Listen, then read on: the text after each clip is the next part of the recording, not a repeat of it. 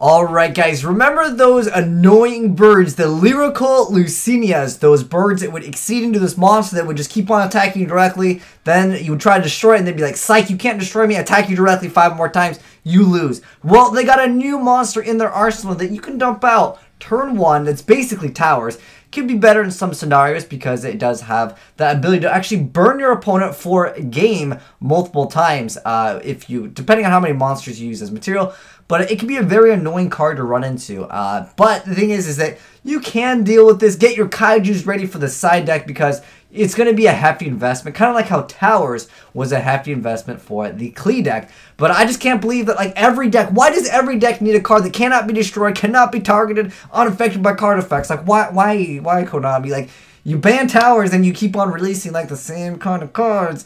But uh, anyways, we have the new Lyrical Luscinia Fusion Monster Independent Nightingale. So it's uh, Lyrical Luscinia Assembly Nightingale plus one Lyrical Luscinia monster. So this card is fusion Summon using an Xyz material whose original names includes Lyrical Luscinia as fusion material. Increase this card's level by the number of materials that were attached to that monster. Uh, this card gains attack equal to its level times 500, and then it's unaffected by other card effects, period. Really good. Now, it doesn't matter about the level. And then once per turn, you can inflict damage to your opponent equal to this card's level times 500. So it's a really dirty card. And I'll show you guys some replays and I'll give you guys a little deck profile so you guys can mess around with the new Lyrical Luscinias. But uh, anyways, you got that young Mystic Piper out here, and you'll see a turn one. This is no Pot of Desires in here, guys.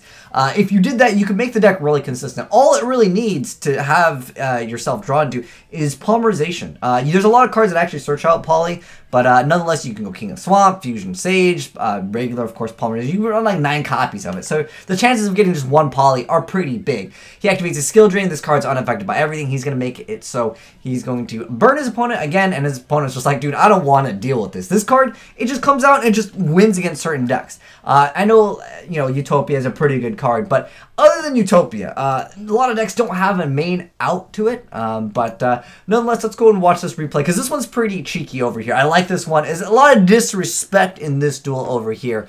But anyways, he's going to go ahead and summon the Dryas the third, the true Draco Knight. So anyways, we see, the uh, Mystic Piper summon. We got the uh, Turquoise. We got Cobalt over there. He's going to go ahead and special summon uh, Sapphire, Swallows. Well, my favorite girl in the game. Uh, anyways, he's going to go ahead and exceed into the uh, Lyrical Luscinia, and then he's going to go ahead and go into the Fusion one.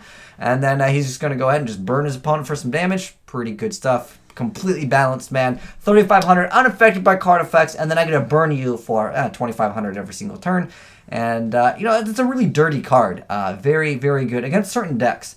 Now, certain other decks can get over it, but for the most part, it's like Utopia. That, that's like the out for most decks. You can see he doesn't even need to attack because he can just burn his opponent for game over here. But like I said, there's, there's a lot of disrespect in this uh, duel over here.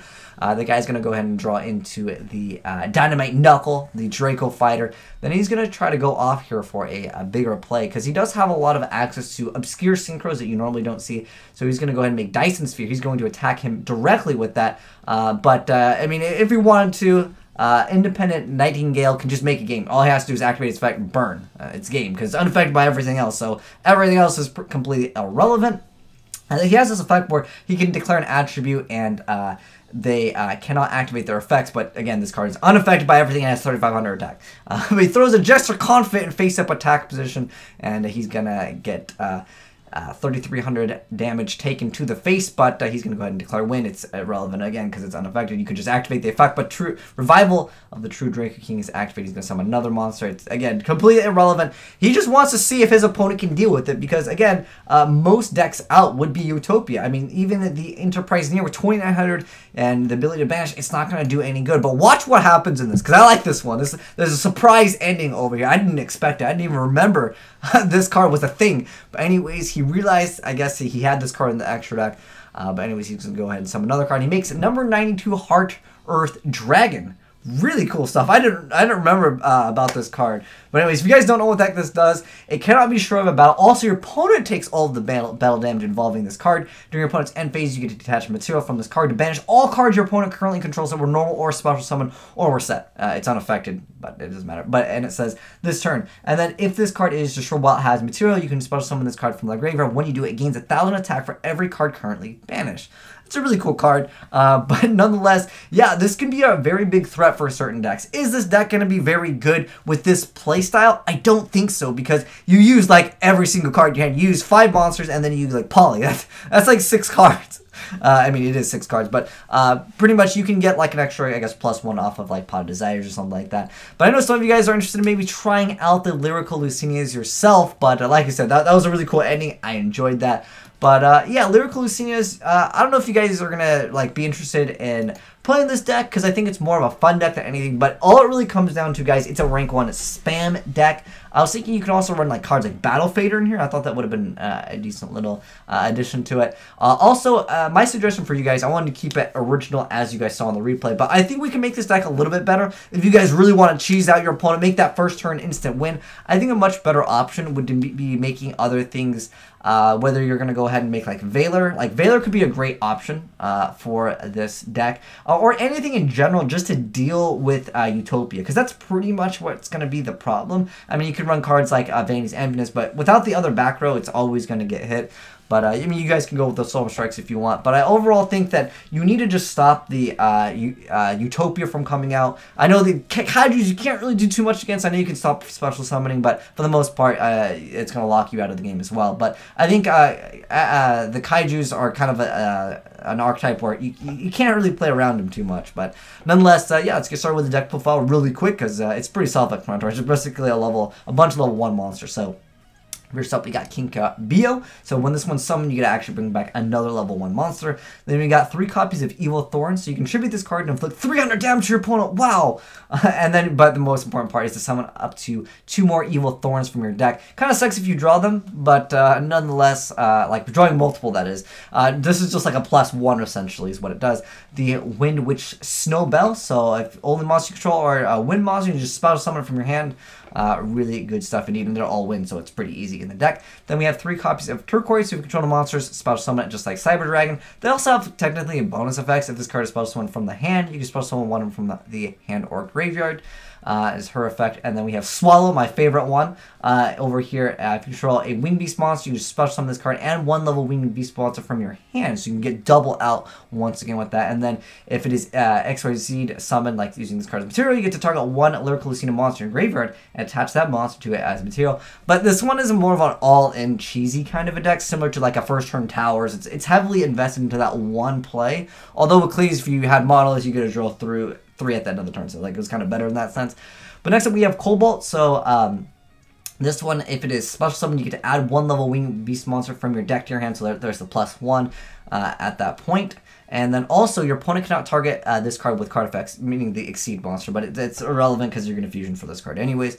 Then we got two copies of Jester Confit, so you can just special summon it, and that's it for that guy. This this card over here, Mystic Piper, uh, you can tribute this card to uh, draw another card, so it's kind of like a cycling card, uh, but if you draw another 1, you can draw an additional card, so you can draw uh, extra free cards from Piper. Then we got three copies of Instant Fusion. Uh, really good card to grab with it is Thousand Eyes, because Thousand Eyes absorbs a monster, and then on top of that, you're going to be able to, of course, just use it as material uh, for the uh, new Lyrical Luscinia Independent Nightingale. And we got one for one. I got tons and tons of target for that. Then we got two copies of Poly, uh, three copies of Fusion Sage, uh, which is basically just more copies of Poly. If you guys are really running into inconsistency issues, you can also technically do King of the Swamp, uh, but I feel like uh, at, at, the moment, like six is pretty good. That's basically six copies of Poly. And then I have three copies of Where Art Thou, so uh, you just get to add one level one monster from your deck to your hand. Uh, you have to control one, but don't worry, that's pretty easy to do in this deck. We also have Soul Charge for a rebuttal play, so if everything goes bad, they somehow get over this, they Utopia you, you have like another one card to try to make something else that's really good, and then you can try to win if your play goes south. Uh, then we have two copies of Co Cosmic Cyclone to get rid of the uh, back row, and then three copies of Solemn Strike. For the extra deck, uh, most important card, I feel like you only really need two of them. I think two is optimal number, but uh, nonetheless, uh, two two or three copies, depending on your choice.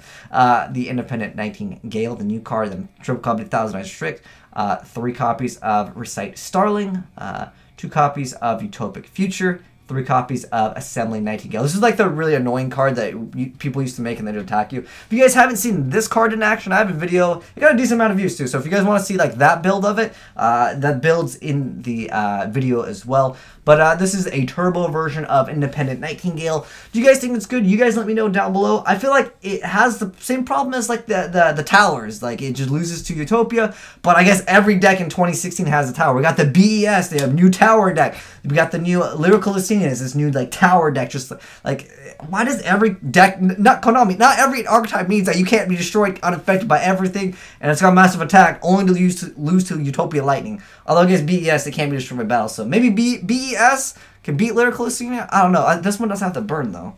This one can counter a lot of things. It's, it's crazy. But anyways, you guys let me know your thoughts down below in that comment section below. But thanks for watching, guys. If you enjoyed the vid, make sure you guys get a like button, a titty slap, and I am signing out.